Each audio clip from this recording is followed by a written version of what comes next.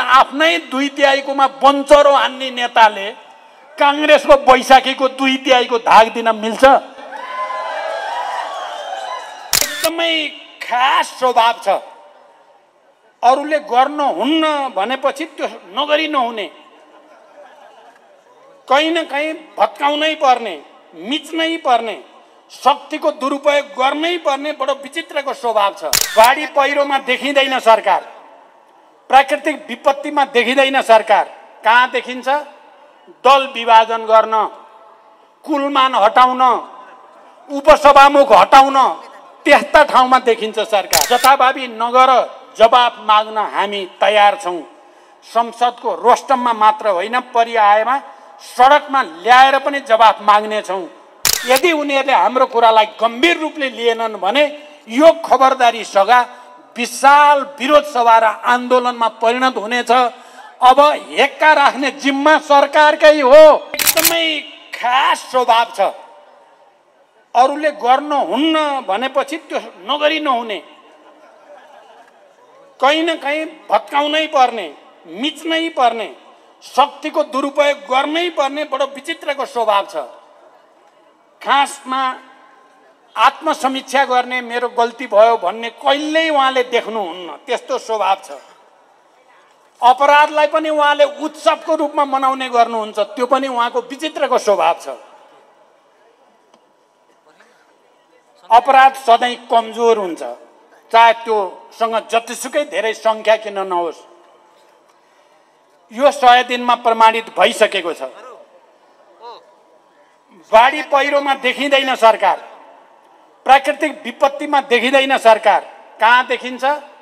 दल विभाजन गर्न कुलमान हटाउन उपसभामुख हटाउन त्यस्ता ठाउँमा देखिन्छ सरकार।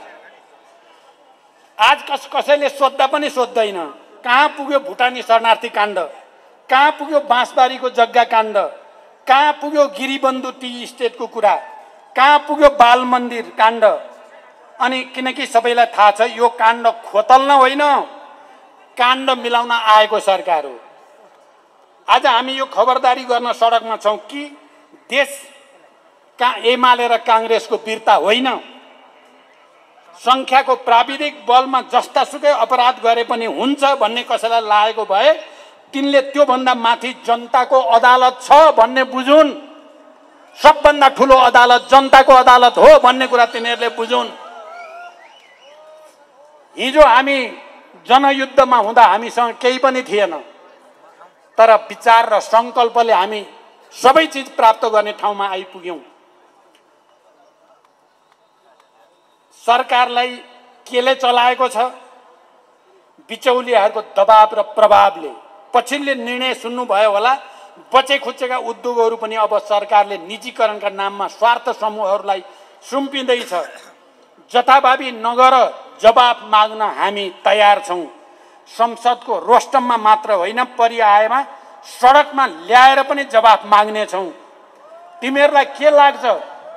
तिमीहरूलाई के लाग्छ? माओवादी मर्यो भन्ने लाग्छ? जे गरे पनि हुन्छ भन्ने लाग्यो? जवाब दिन पर्दैन हामीले भन्ने लागेको छ।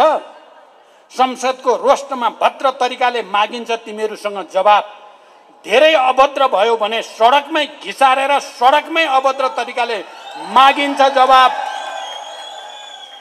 तिनको छानुमाथि उभिएको एउटा परिवारले काठमाडौँको मुटुमा चार घन्टासम्म उद्धार पाएन।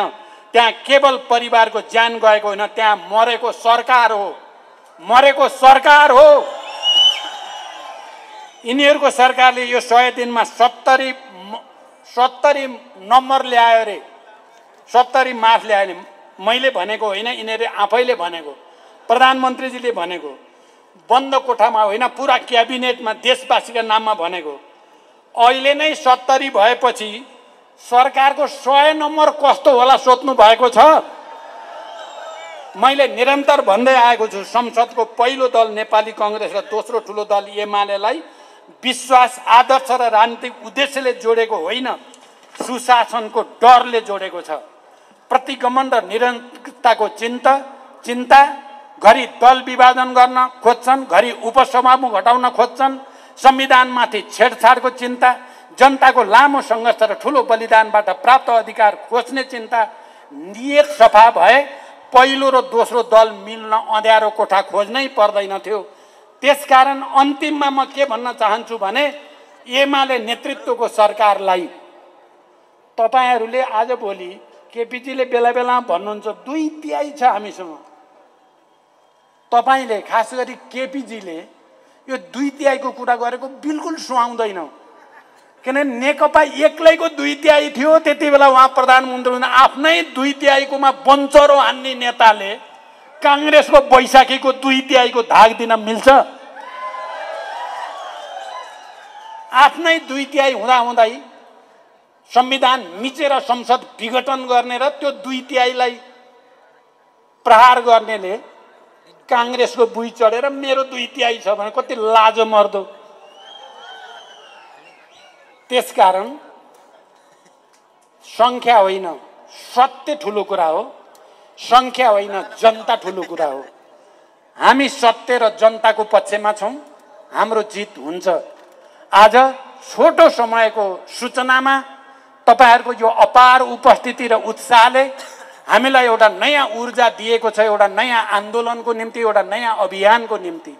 हामी हतारोमा छैनौँ तर जनतासँग मिलेर एउटा नयाँ अभियान मार्फत समाजवादको आधार समाजवादी क्रान्तिको आधार तयार पार्ने सङ्कल्पमा छौँ। यसलाई कसैले खेलाची नठानोस्। म तपाईँहरू सबैलाई अब अन्तिममा यही अपिल गर्न चाहन्छु यो खबरदारी सभालाई अब देशका सबै पालिकामा देशका सबै वडामा हामी कार्यक्रम बनाएर पठाउनेछौँ। विशाल खबरदारी सभा देशभरि गरेर अनि अन्तिममा जरुरी परेर सरकारले न्यु खोज्यो भने हामी सदनभित्र विशेष अधिवेशनको माग गर्नेछौँ। हामीसँग त्यो सङ्ख्या चाहिँ छ। हामी थोरै भए पनि विशेष अधिवेशन माग्ने सङ्ख्या हामी विपक्षीहरूसँग छ। हामी त्यो माग्नेछौँ र संवैधानिक तरिकाले उनीहरूका विरुद्ध सङ्घर्षमा जानेछौँ र यदि उनीहरूले हाम्रो कुरालाई गम्भीर रूपले लिएनन् भने यो खबरदारी सभा विशाल विरोध सभा र आन्दोलनमा परिणत हुनेछ। अब हेक्का राख्ने जिम्मा सरकारकै हो। तपाईँहरूकै जिम्मा छोड्दै म बिदा हुन्छु। धन्यवाद अभिवादन।